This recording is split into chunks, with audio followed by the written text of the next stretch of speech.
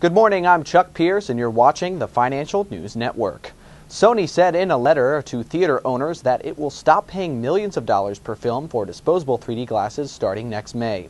The unexpected change in policy comes as studios are struggling to adapt their business to falling DVD sales, while digital sales have not made up the difference.